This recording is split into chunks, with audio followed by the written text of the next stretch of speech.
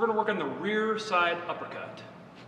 This is gonna be more long distance technique. This isn't the sort of Mike Tyson straight up close range one we're gonna go. Sort of the medium to long distance. So what's happening is my center is located right here. It's a little different for everybody right about here. So my center is gonna lower, moving from my center, that's the first thing that moves. Dropping a little bit, because it's an uppercut, you need a little space to come back up again. Dropping, here, and the same thing with all our techniques. Left hand guarding my face, my shoulder guarding the other side of my face, and then I rotate right back. There's none of this, which is so common.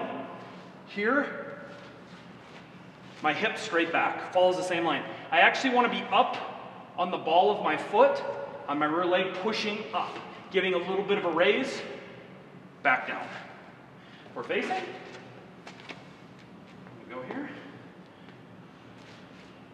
Dropping. Good, you can slip it, that's perfect. I'm here, right back.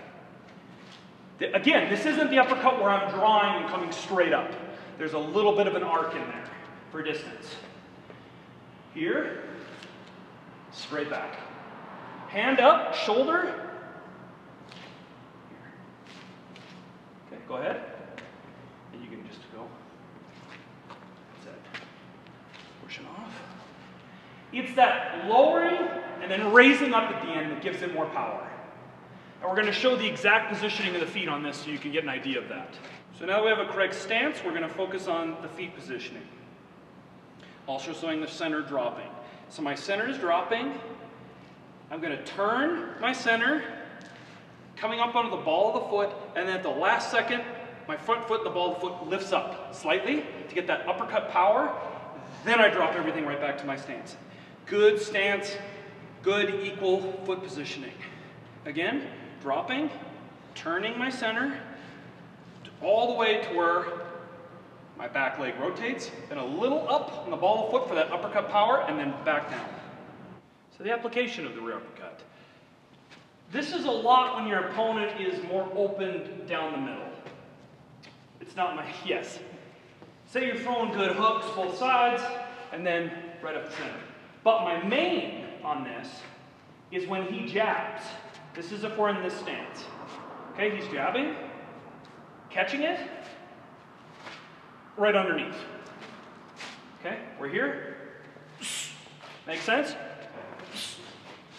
Right underneath, right underneath his armpit, basically, and he doesn't see it coming, it's amazing knockout blow. Go slow motion.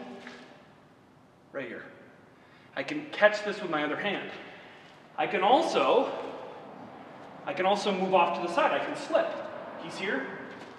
I can also jab myself. This is a knockout blow because your opponent does not see it coming. It's in a blind spot. So that is application of the rear uppercut.